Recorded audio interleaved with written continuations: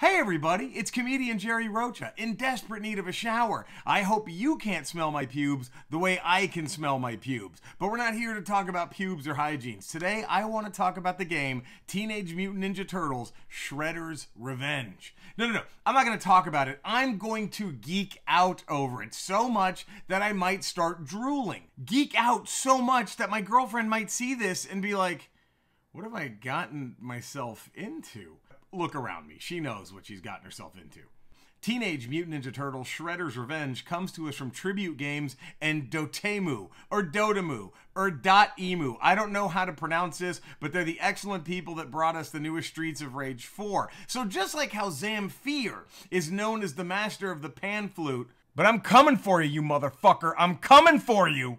These companies might as well be the masters of the beat 'em ups. But before we continue, let's reminisce just a smidgen. I'm 11 or 12 years old, hanging with my cousin Eric. We're at the movies. There's some girls our age, a couple of rows behind us, who are throwing popcorn and ice cubes at us, giggling while they're doing it. I did what anyone would do. I got very frightened and I got up to find an employee to ask them to stop, hoping they were going to get a stern talking to or maybe even removed from the premises. It was only until like 30 something years, okay, right now, it was only until right this moment as I'm making this video that I realized, holy shit, they were probably trying to flirt with us. You know, hoping we'd throw some shit back, maybe have a laugh, maybe have a conversation. Eric, I'm I'm so sorry I just turned into a strict nun on those poor women. And us. I fucked us. I'm sorry. But if those two girls happen to be watching that video, I did you a favor. Trust me, we were not ready for that level of game. Dating us would have been a nightmare. Our second date would have been you two just sitting around as Eric and I called several different Toys R Us's to see if they had any toys in stock, and maybe asking you to call a few for us so we knock some more off the list quicker and then we'd be like, finger condoms? Oh, oh, oh, gee willikers, I just don't know. So anyway, after that movie, and really after every movie that Eric and I would see together, we'd walk right over to the Putt Putt Golfing Games, which is right by the theater, and then we'd head into the arcade. Let me tell you that feeling of playing miniature golf and then going right to the arcade. There's not enough heroin on the planet that can recapture that high. And boy, the fun was especially waiting for us that day because when we walk into the arcade by itself, right there was a brand new Teenage Mutant Ninja Turtles arcade cabinet. And for whatever reason, there was no one in the arcade that day. It was like one of those depressing casinos at 2 in the morning when it's just everyone who's given up and there may be like one or three people on the slot machines hoping to either cash out or die. It was a miracle that was handed to us, a miracle that we did not take for granted. We poured every quarter, token, whatever into that machine, and we loved it. My love for the Ninja Turtles had actually began a few years before that when my buddy in elementary school, Dave, let me borrow one of his Mirage, Eastman, and Laird Ninja Turtles comics. I was instantly hooked. I didn't really care that they were just kind of making fun of the X-Men and Daredevil. I was just into it. I was like, forget the parody. I just want more of this. The stories were weird. They were funny. They were violent. It was everything I look for in a woman right there in a comic book. And then later on, a cartoon show gets announced, and we didn't care that it was going to be toned down a little bit from the comics. We just wanted all the Ninja Turtles we could get our hands on. By the way, it's Raphael. That's the pick. That's the only one. I don't want to fucking hear anything else. Raphael's, that's it. Number one. The show, of course, was a giant smash, and then the toy line. My goodness, the toy line they released.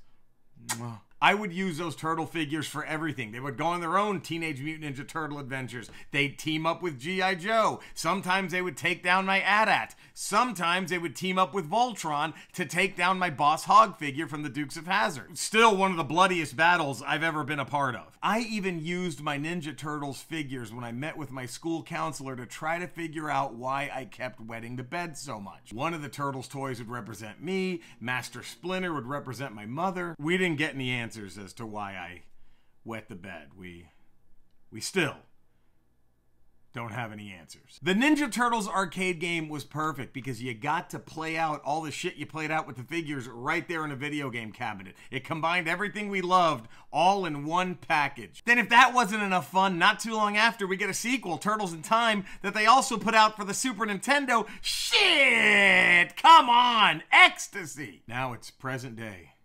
Many years have gone by. I'm trying to find meaning. I'm trying to find happiness. I take Viagra, even though I don't think I really need to yet.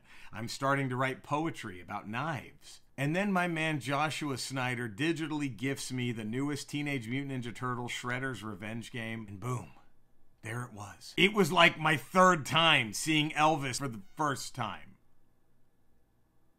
I was 12 all over again. I wanted to make grilled cheese and ramen noodles before I played the game each time. I wanted to call the cops on any woman who flirted with me. I immediately texted my cousin Eric, like, bro, you gotta get on this. I understood what the people were feeling when they wrote the song Killing Me Softly. I got rid of the Viagra. In fact, I think I've become an even better lover to my partner, my girlfriend. Right, honey? I mean, if you were, right? If they were to ask you, hun? I can't recommend this game enough. It throws everything you love about the first games and it puts them all in this and then it adds more stuff and it just keeps getting more and more fun the more you play it. Like the Triceratons, which are some of my favorite characters, definitely one of my favorite action figures. They're in this game. Seeing them instantly filled me with joy. It made me a little regretful that I couldn't spread my mother's ashes on them in the game instead of the pretty place where we did spread them getting to play as Casey Jones fulfilled something in me I didn't know existed. There was a void there. I didn't even know what it was. And then when I was able to play as Casey Jones, it filled it. If I ever have a child, my goodness, the charm they're going to have to put on to make me give a shit about them when I can already play as Casey Jones in a video game. There are so many Easter eggs to the original cartoon, and apparently there's more DLC to come. And if anyone who works on the game happens to be watching this video, come on, make the Fugitoid a playable character. I want Usagi Yojimbo. Make it happen. Panda Khan, Mondo Gecko, Connie, from The Godfather. I know she had nothing to do with the Ninja Turtles, but I love this game. And REO Speedwagon style, I want to keep on loving it. And if you haven't played this one yet, my God, get on this good shit. And yeah, those two women who threw popcorn and ice cubes at us, I've met the love of my life. Eric met the love of his life. He's happily married. I mean, you probably should have thrown Thundercats figures or G.I. Joes at us. That might have gotten our attention. We might still be together to this day. Now, you have to hope that your loser boyfriend who got you a Let's Go Brandon t shirt for your birthday doesn't post racial slurs online and lose his job. Throwing popcorn, you fucking amateurs. Thank you for tuning in. Please, if you haven't already, and if you chortled or even guffawed during this, subscribe to my channel, like the video, hit that notification button so every time I post a new video, you're notified. And the more you do that, the less balls I break. Have a great one. Stay safe. I love you all, and see you soon.